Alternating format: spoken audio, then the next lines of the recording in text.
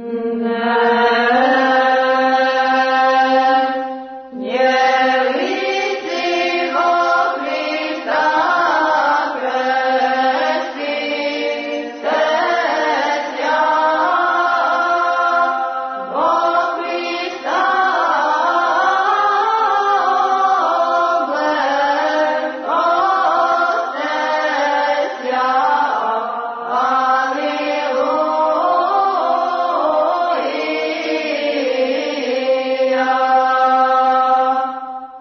Nema ljepše vjere od hrišćanske.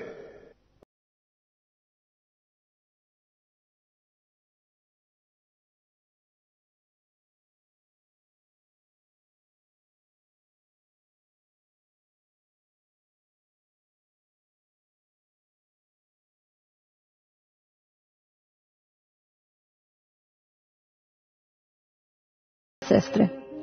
U današnjem izdanju emisije Nema ljepše vjere od hrišćanske govorit ćemo nešto o svetim ljudima koje naša crkva proslavlja svetom učeniku Đorđu Kratovcu,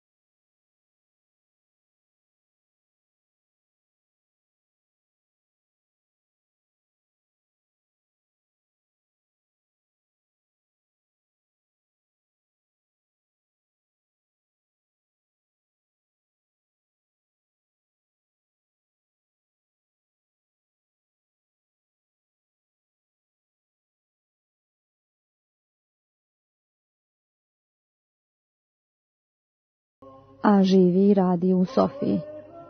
Od malena je učio kujundžijski zanat i živio bi u svom malom kratovu mirno i radno, da nije bio obdaren takvom ljepotom i snagom, pa se bojao da ga Turci ne odvuku u janičare. U Sofiju je zapravo pobjegao, ne bi li izbjegao zlu janičarsku sudbinu.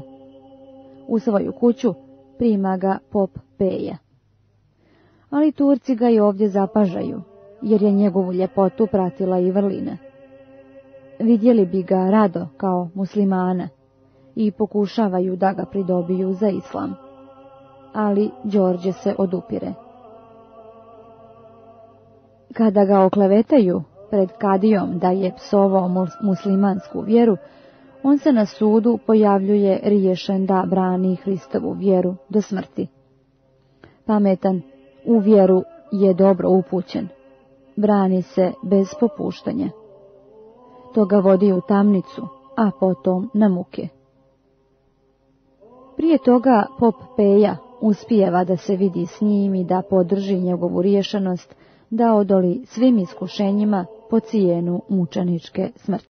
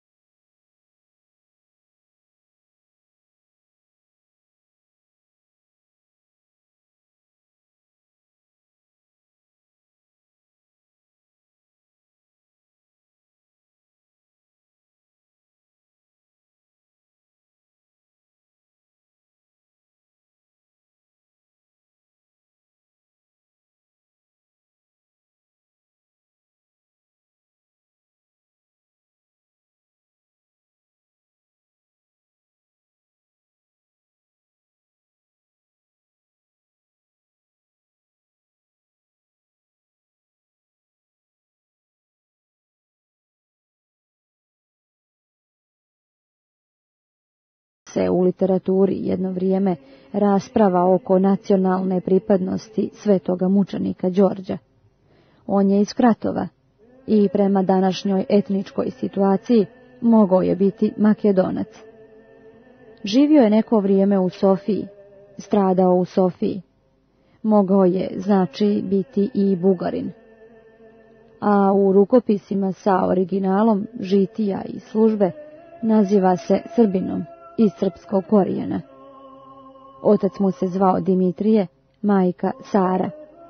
Što je u stvari bio, sam Bog zna. Poznato je da Pečka patrijaršija poslije svog obnavljanja 1557. godine obuhvata ne samo Kratovsku oblast, nego i neposrednu blizinu Sofije. Ali to ovdje nije važno. Mučaništvo svetog Đorđa Kratovca upravo govori o tome kako su neke druge stvari u životu važnije od svega što nas vezuje za zemlju, rod, porijeklo. I nema većeg apsurda nego se otimati oko takvog učenika kakav je bio Đorđe. On je Hristov, strada i umire za Hrista.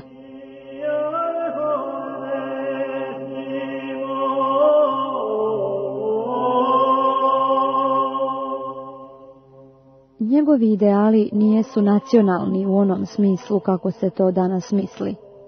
Njegova svijest je hrišćanska, pravoslavna, univerzalna u tome, a nije uska nacionalna svijest. Đorđe nigdje i ne pominje i ne govori o tome šta je, osim da je hrišćanin. Zar to ne podsjeća na one klasične izjave prvih hrišćana i mučenika na sudu? Na sva pitanja o porijeklu, zemlji, narodu, rodu, odgovarali su jednako. Hrišćanin sam. Jedino obilježje za identifikaciju, hrišćanin sam.